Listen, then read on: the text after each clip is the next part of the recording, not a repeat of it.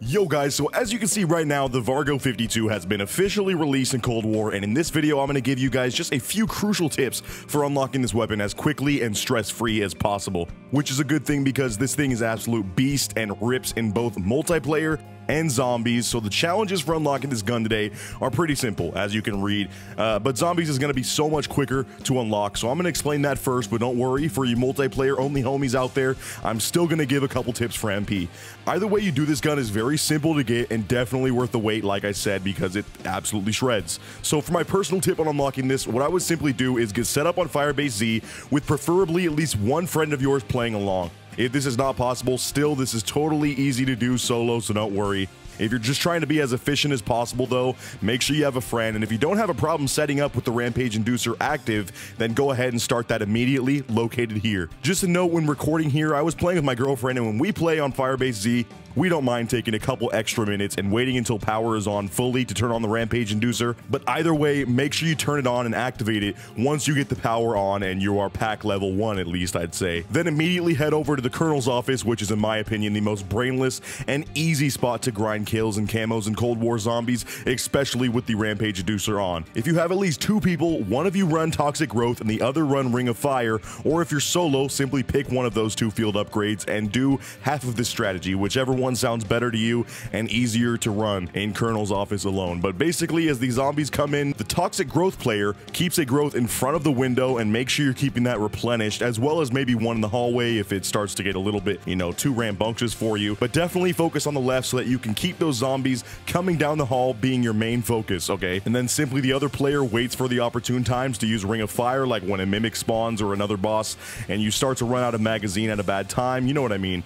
But basically, it's a combo of those two field upgrades that are going to lead to your biggest success. So it's a bit harder to save a zombie at the end of the round with the Rampage Inducer on, but often a Mangler will have a glitch spawn just below you and outside near the Orda location, giving you a little bit of time that way, or simply don't kill when you get low in zombies, and make sure you can go around and pack a punch and upgrade eventually until you get to the third tier.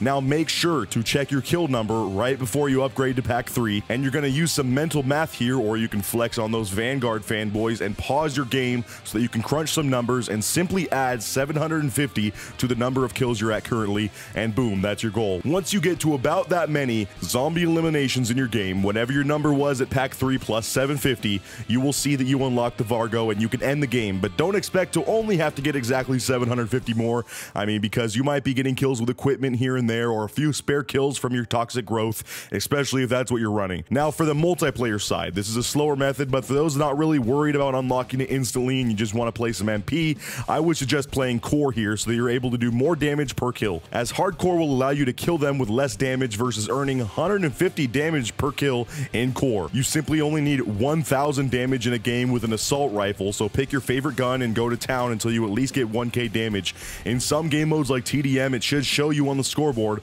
so you don't have to do guesswork on your total damage, but if not, anything above about 10 kills in core should definitely do the trick, unless they're all assists, that's going to be very rare though. I would also queue either face off and hope that you get TDM lobbies, or queue TDM since they tend to have the quickest matches. In the glitched way to get this gun in Modern Warfare that was discovered a couple weeks ago, you could leave matches matches early. But in this text, they clearly state 15 completed matches that you need 1,000 damage in. I have heard from a couple people that you can leave early and it will count, but usually those are just rumors. Your best bet is to either try that once and see if it counts towards your total, and if it does, go ahead. If you look at the locked gun in your inventory and it still shows zero as the progress, that means you should just stick around and grind camos in the game while you wait for each game to end, and do that 15 times. So like I said, uh, it's a very simple unlock either way for a very fun and easy to use gun, but I think zombies is going to be a lot quicker for most of us, so that's why I showed the first method there. And of course, this video was obviously aimed at those of you that are returning to Cold War after not playing for a while, or for those of you that are new and wanting to find the quickest way to get to use this thing. As you can see from the gameplay, there is excellent coverage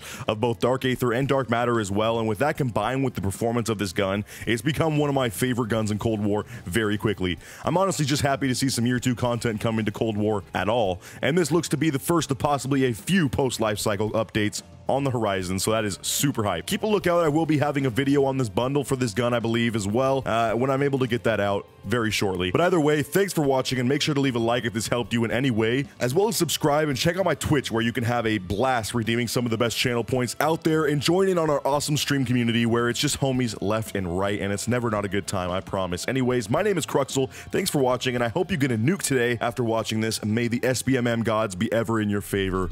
Peace.